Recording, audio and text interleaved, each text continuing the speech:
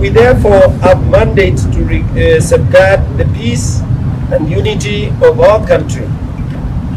We, in this regard, commend His Excellency the President Dr. William Ruto and the leader of Azimio la Umoja, Right Honorable Odinga, for hearing the plea of Kenyans and seek to engage in consultations to resolve the political differences.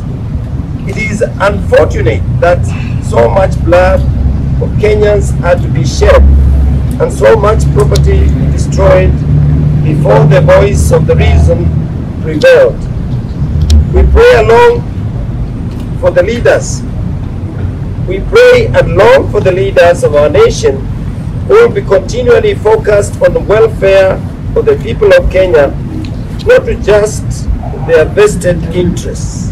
That, that this morning some police officers invaded the home of Bishop Professor David Kodia, the chairman of NCCK in Nyanza region, without a search or arrest warrant.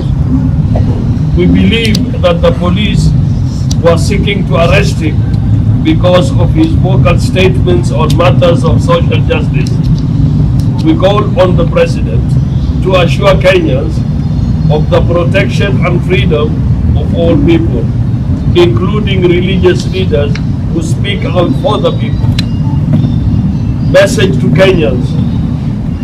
Dear brothers and sisters, we know that we are all affected by the rising cost of living and the economic state of the nation.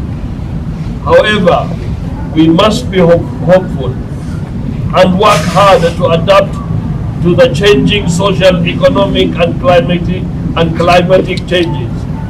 We must also continually demand that our leaders, both in government and in the opposition, listen to us so that we together seek and implement viable solutions to our problems.